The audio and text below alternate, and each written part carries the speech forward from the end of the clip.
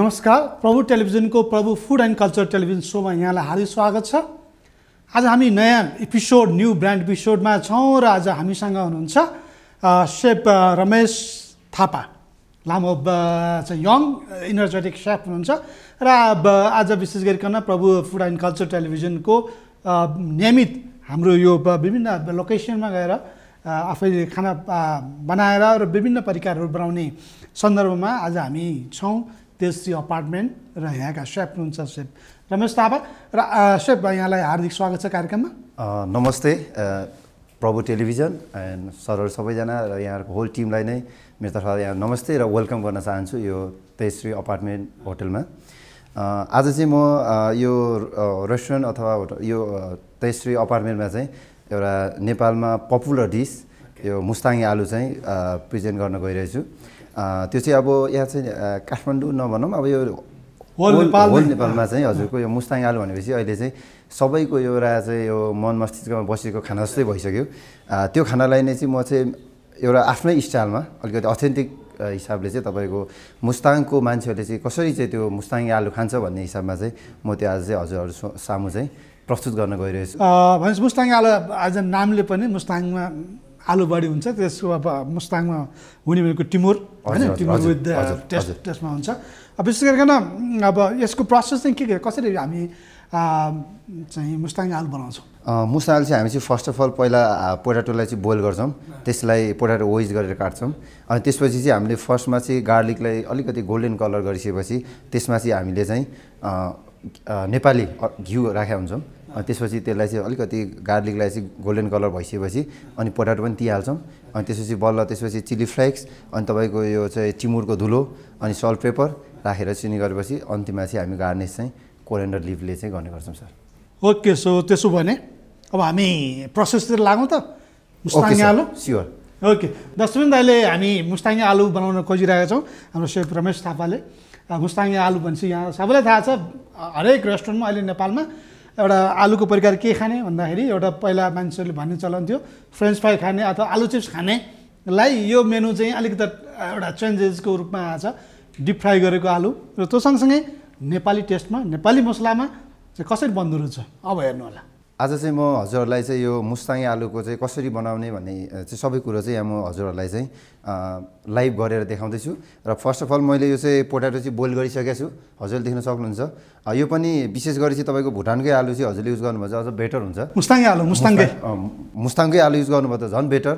त्यो भएन भने त्यसको अल्टरनेटमा पनि अरू अलिकति राम्रो चुज गरेर चाहिँ हजुरहरूले बनाउनु भयो भने त्यसको लागि बेटर हुन्छ। अब यसलाई चाहिँ हामी काट्छौँ।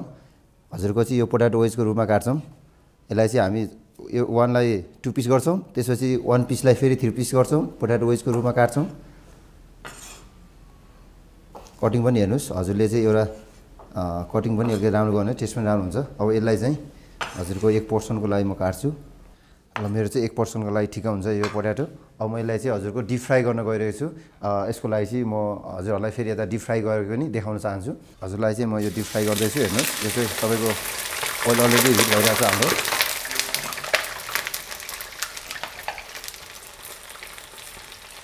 त्यो हजुरको अहिले फ्राई हुँदैछ हेर्नुहोस्।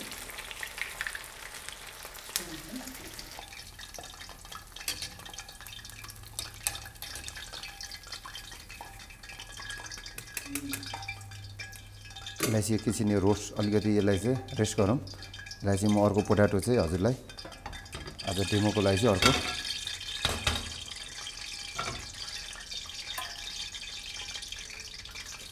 यसको चाहिँ बिस्तारै हजुरको जब अलिकति डिप फ्राई हुँदै गइसकेपछि यसको कलर पनि गोल्डन कलर आउँछ। अनि त्यसपछि बल्ल अलिकति यो क्रन्ची पनि हुन्छ। हजुरको क्रन्ची हुँदै गइसकेपछि हजुर अलिकति यो कलर पनि आउँछ र कलर अलिकति गोल्डन कलर भइसकेपछि अनि यसको हजुरको क्रन्ची हुँदाखेरि चाहिँ टेस्ट पनि अलिकति डिफ्रेन्ट अलिकति मजाको हुन्छ। त्यही भएर अलिकति यसलाई चाहिँ म अलिक डिप फ्राई गर्दैछु। यो चाहिँ मेरो रेडी भइसकेको छ। अब यसलाई चाहिँ म निकाल्दैछु।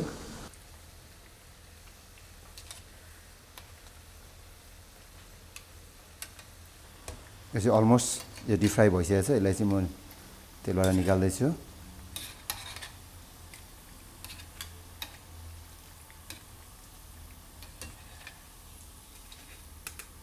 देख्न सक्नुहुन्छ।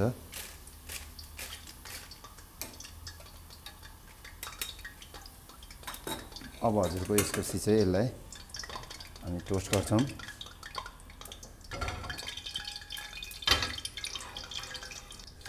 यसमा चाहिँ हामी हजुरको एकदमै अथेन्टिक नेपाली घिउ राख्दैछौँ।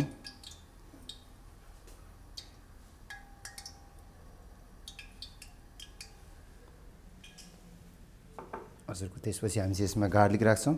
हेर्नु होला। यो चाहिँ गार्लिक यो सँगसँगै हामी चाहिँ यसलाई पोट्याटोलाई पनि अलिकति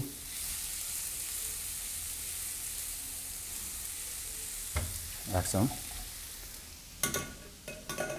यसले गर्दा चाहिँ हजुरको यो गार्लिकको टेस्ट चाहिँ अझै यो पोट्याटोमा पनि एकदमै राम्रो र स्मेल यसको फ्लेभर चाहिँ एकदमै राम्रो हुन्छ।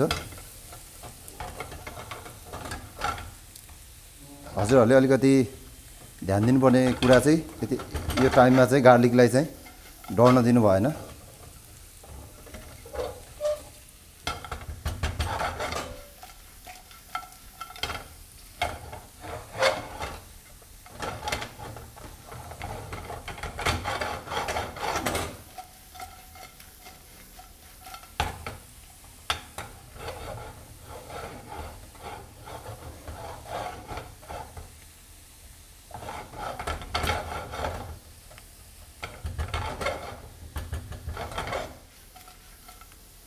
अब यसलाई चाहिँ हामी सिजनिङ गर्छौँ गर्छौँ। हेर्नुहोस् यसमा चाहिँ अलिकति हामी चिली फ्लेक्स अनि हजुरको यो चाहिँ तपाईँको चिमुरको धुलो यसमा चाहिँ अलिकति सल्ट राख्छौँ पेपर यसलाई फेरि हामी मजाले यसलाई चाहिँ तपाईँको मिक्सिङ गर्छौँ।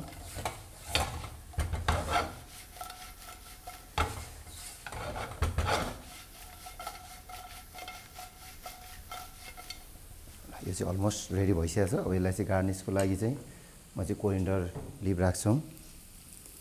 होइन होला। यसले चाहिँ एकदमै कमाएँ। यसको फ्लेभर पनि। यो चाहिँ हाम्रो अब अलमोस्ट रेडी भएको छ। आलुलाई चाहिँ हजुरको प्लेटिङ गर्दैछु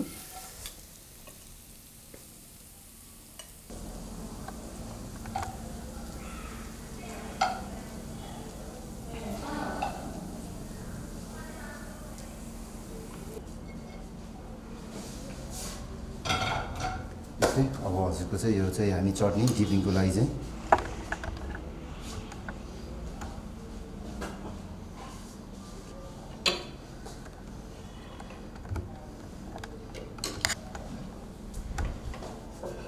अलिकति यसको लागि चाहिँ हामी अलिकति हजुरको यो ह्यान्ड्सको लागि चाहिँ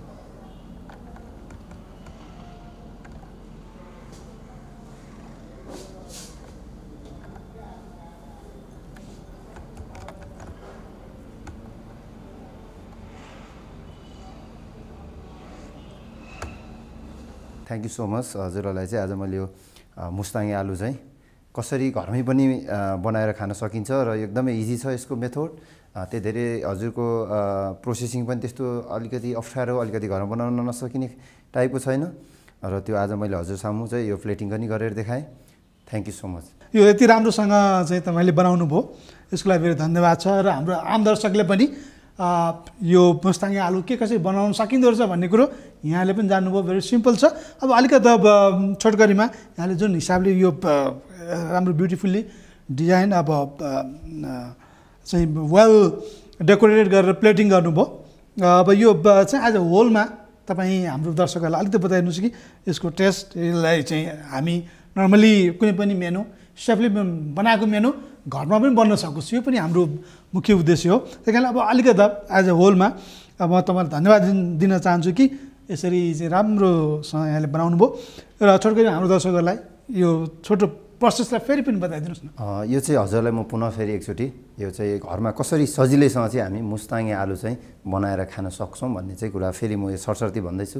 हजुरले पनि यो चाहिँ घरमा चाहिँ फर्स्ट अफ अल हजुरले चाहिँ पोटाटो बोइल गर्नु पऱ्यो वेल डन त्यो बोइल भइसकेपछि हजुरले त्यसलाई चाहिँ कटिङ चाहिँ वेजेस कट राम्रो कटिङ गर्नुहोस्। जब कि हजुरले खाँदाखेरि पनि अलिकति हजुरलाई पनि अलिकति हुन्छ नि अहो कस्तो मजा होला खाँदा भन्ने खालको एउटा फिल आओस्। अनि त्यसपछि हजुरले अर्को इन्ग्रिडियन्ट चाहिँ हजुरले गार्लिक अनि त्यसपछि हजुरको टिमुरको धुलो अनि चिल्ली फ्लेक्स अनि त्यसपछि सल्ट यो सबै कुरा भइसकेपछि आलुलाई हजुरले त्यसपछि ओजेज काटेको आलुलाई डिप फ्राई गर्नुहोस्। डिप फ्राई भइसकेपछि प्यानमा हजुरले लोकल अर्ग्यानिक घिउ राख्नुहोस्। त्यसपछि त्यो घिउमा चाहिँ हजुरले त्यो गार्लिक चप गार्लिक राखेर सोते गर्नुहोस्। त्यो अलिकति गोल्डन कलर हुन जान्छ। त्यसपछि हजुरले चाहिँ पोटाटो त्यहीँ हाल्नुहोस् अनि मजाले त्यसलाई चाहिँ मिक्सिङ गर्नुहोस्। त्यसपछि हजुरले बल्ल चिल्ली फ्लेक्स राख्नुहोस्। हजुरले चाहिँ यो टिमुरको धुलो राख्नुहोस् अनि त्यसपछि सल्ट पेपर भइहाल्यो। अनि त्यसपछि हजुरले मजाले एकछिन टोस्ट गर्नुहोस्। फाइनल टच चाहिँ हजुरले कोरेन्डर गर्नुहोस्। मजाको हुन्छ। हजुरले टेस्ट गर्नुहोला र हजुरले हाम्रो यो टेस्ट गरेर हजुरले चाहिँ फिडब्याक पनि दिन सक्नुहुन्छ। अझ हजुरहरू यो त यसरी अपार्टमेन्ट आउनुभयो भने अझ हामी पनि हजुरलाई फेरि यसरी अब मौका दिनुभयो भने हामी पक्कै पनि हजुरलाई यो डिस चाहिँ बनाएर दिन सक्छौँ। र आजको यो एपिसोडमा यहाँले जुन यो आज यो चाहिँ मुस्ताङ्गे आलु बनाउनु भयो। र यसको लागि धेरै धन्यवाद छ। र आगामी दिनमा पनि यहाँका अरू इनोभेसन अरू न्यू क्रिएसनहरू पनि हाम्रा आम दर्शकले चाहिँ हेर्न पाऊँ देख्न पाऊँ भन्दै अब यहाँको अन्तिममा केही त्यस्तो भनाइ छ भने दर्शकको सामु राख्न सक्नुहुन्छ। एज यहाँको यहाँ सम्पूर्ण पर्व टेलिभिजनको होल टिमलाई पनि थ्याङ्क यू सो मच भन्न चाहन्छु। यहाँहरू आइदिनु भयो यो हामीले चाहिँ बनाएको एउटा फुडहरू चाहिँ जो चाहिँ किचनमा मात्रै सीमित हुन्छ भने यो कुरालाई चाहिँ हजुरले आज प्रेजेन्टेसन शुद्धको चिजलाई चाहिँ हजुरले चाहिँ एउटा श्रोता सामु पुर्याउने एउटा मद्दत गरिदिनु भएकोमा त्यसको लागि सम्पूर्ण टिमलाई थ्याङ्क यू सो मच भन्न चाहन्छु। र सम्पूर्ण हेरिरहनु भएको दर्शकबिनहरूलाई पनि हजुरहरू पनि घर पनि यो स्पेसल मुस्ताङ आलु बनाएर टेस्ट गर्न सक्नुहुन्छ। यदि हजुरहरूलाई अझै यहीँको टेस्ट गर्न चाहनुहुन्छ भने please welcome Tashri apartment hotel. हामी हजुरहरूको सदैव वेलकम गर्न चाहन्छु। Thank you so much.